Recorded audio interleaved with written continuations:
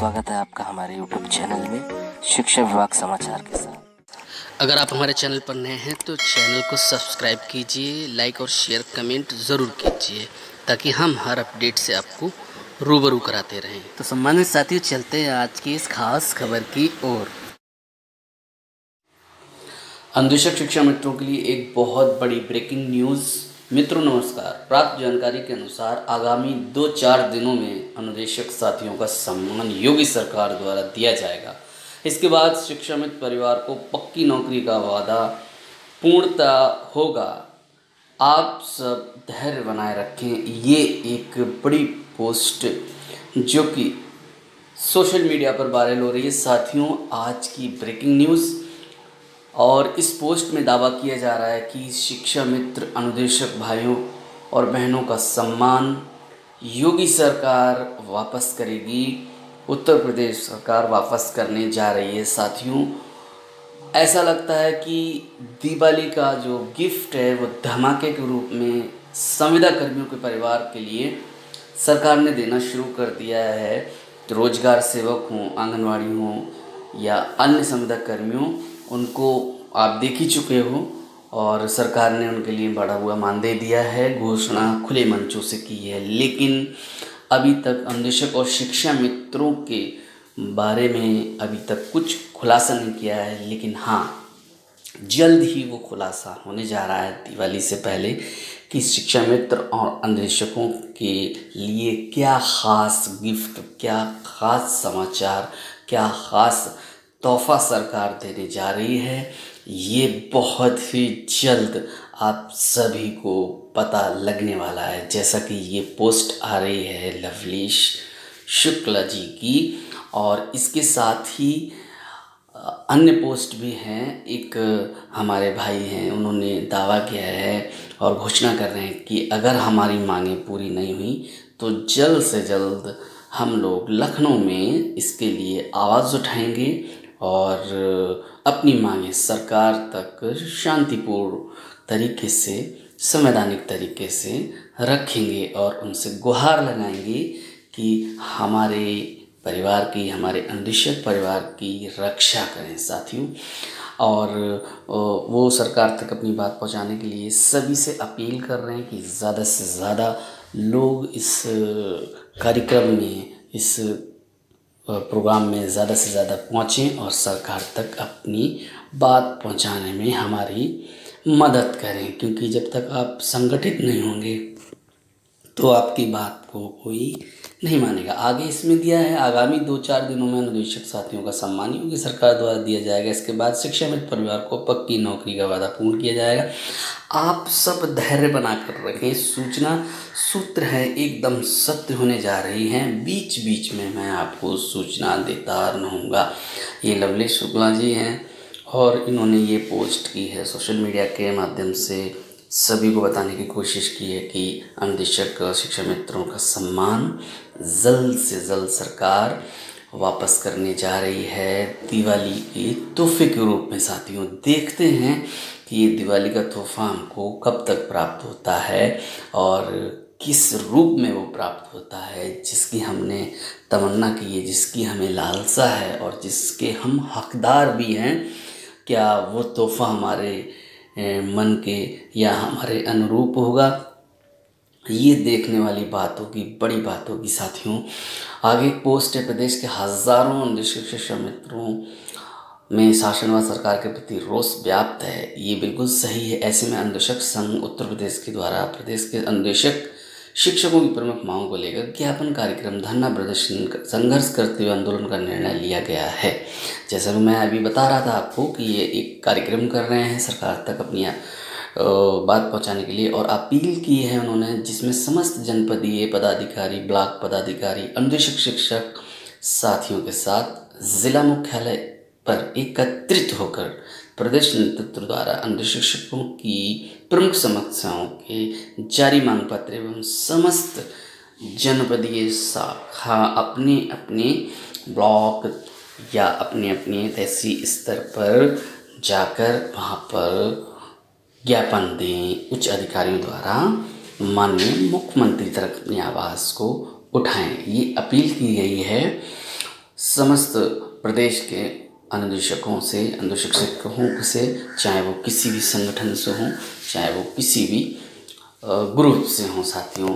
और ये अपील की गई है कि आप लोग अपने अपने ज़िला मुख्यालय, ब्लॉक स्तर, जैसे जिसका संगठन है या जैसे जो कर सकते हैं, वो अपने उच्च अधिकारियों को दिवाली से पहले अपने मांग पत्र ज़रूर दें और ज्ञापन के रूप में उनको अवगत कराएँ कि हमारी जो दयनीय स्थिति है, उसको सुधारने की कृपा करें माननीय मुख्यमंत्री जी।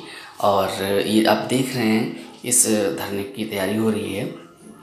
मैंने आपको पहले बताया था, सभी सम्मानित प्रदेशीय पदाधिकारी, समस्त जनपदीय अध्यक्ष, मंत्री व निदेशक शिक्षक साथियों, उत्तर प्रदेश शासन व विभागीय अधिकारियों को प्रदेश के अनुदेश शिक्षकों की लंबी समस्याओं को लेकर निरंतर पत्र के माध्यम से अवगत कराया गया। जो कि पिछले काफ़ी समय से बेसिक शिक्षा परिषद के नियंत्रणाधीन अनुदेशक शिक्षक की समस्याएँ शासन स्तर पर लंबित हैं, अभी तक जिनको पूरा नहीं किया गया है।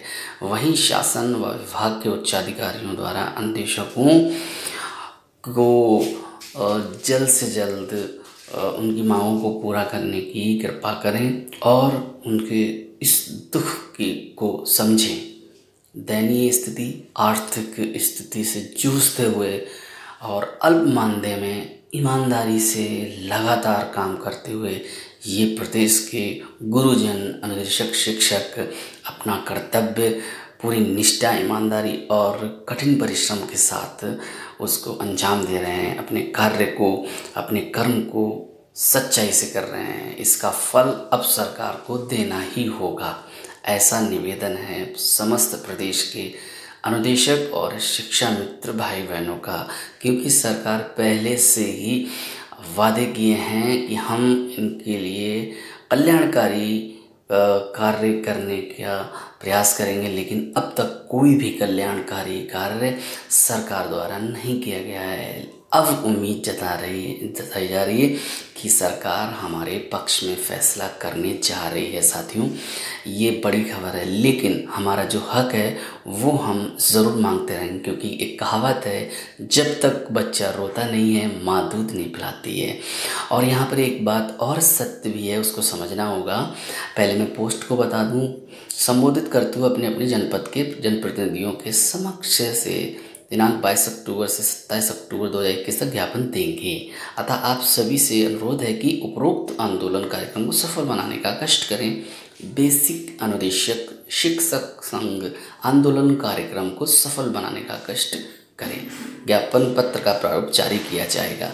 साथ ही जो एक ज्ञापन होगा, वही हम लोगों को सबको देना होगा। उसमें मांगे एक तरह जैसे कि हम लोग ट्वीट पर कोई भी ट्विट हैंडल पर कोई भी हम लोग समाचार जब पोस्ट करते हैं तो एक ही जगह पोस्ट होती है, एक ही तरह की पोस्ट को हम सब लोग आगे बढ़ाने की कोशिश करते हैं। ऐसे ही कुछ कार्यक्रम होने जा रहा है अपनी माँगों को लेकर, और अपील भी की गई है। तो मैं आपको बताना चाह रहा था कि जब तक बच्चा रोता नहीं है, माँ दूध नहीं पिलाती है, ये बिल्कुल सत्य है। लेकिन आपको बताना चाहूँगा, माफ़ कीजिए यहाँ पर, जिस माँ ने कभी बच्चों को जन्म ना दिया हो, या जो माँ ने अपने ममता का या परिवार का या परिवार क्या होता है उसकी तकलीफ़ें क्या होती हैं नहीं समझाओ तो थोड़ा मुश्किल होता है कि वो दूध पिलाए किसको पिलाएगी? वो उस कष्ट को उस दर्द को शायद ना समझ पाती हो एक बच, बाल बच्चे वाली माँ के के सामने या उसके तरह। तो साथियों यहाँ पर मेरी बात कहने का आप समझ गए होंगे मतलब मैं क्या कहना चाह रहा हूँ। तो अब बस निवेदन यही है कि जो भी है, कोई बात नहीं, हमने इतना सहा और सही, और संघर्ष तो हम करते ही रहेंगे, ये हमारा संवैधानिक अधिकार है। अपनी मांगों को हम सबके समक्ष, सरकारों के समक्ष, अपने जनप्रतिनिधियों के समक्ष और विभाग के समक्ष रखते रहेंगे, और वो जानते भी हैं, ऐसा नहीं है। और हमारे हक में फ़ैसला होना चाहिए। यहाँ पर एक बात कहूँगा कि दोस्तों, निराश मत होइए, अपना टाइम आएगा, ज़रूर आएगा और जल्द आएगा। धरना प्रदर्शन के पहले लखनऊ में खुली बैठक होगी। संघ की ओर से सभी के सुझाव मंत्रित होंगे। सभी पदाधिकारी अपनी अपनी भूमिका निभाएँगे। हम सभी की ज़िम्मेदारी है नोट। लखनऊ में धरना प्रदर्शन की डेट जल्द ही घोषित होगी। प्रदेश कार्यकारिणी की लखनऊ में उससे पहले इसी माह अन्य संगठनों से वार्ता कर सफल आंदोलन घोषित किया जाएगा। धन्यवाद।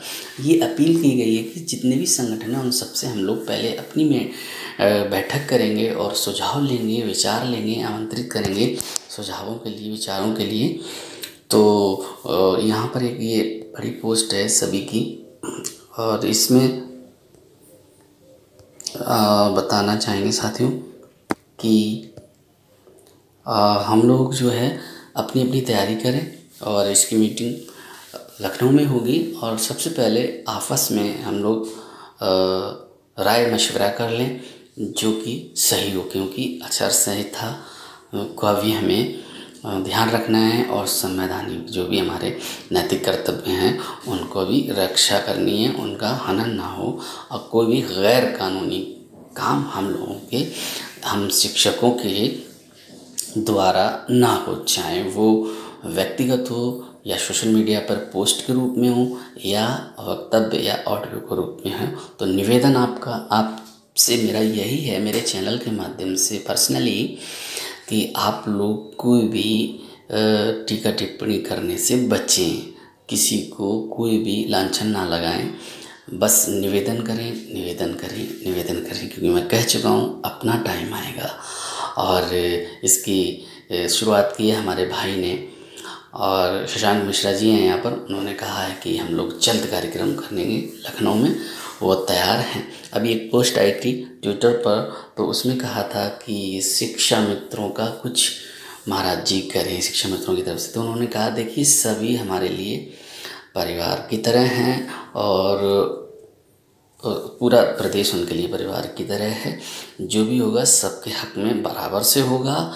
कोई हमारे लिए विशेष अलग से नहीं है, सब हमारा परिवार है। ये बहुत बड़ी बात उत्तर प्रदेश सरकार के यशस्वी मुख्यमंत्री माननीय श्री योगी आदित्यनाथ जी ने कहा है। ये एक अच्छा संकेत है। पॉजिटिव बात उन्होंने कही है सकारात्मक विचार के रूप में अपने दिल की बात, अपने विचारों को, अपने मन की हृदय की बात को हम तक पहुँचाया है। साथियों, ये एक बड़ी पोस्ट कही जा सकती है।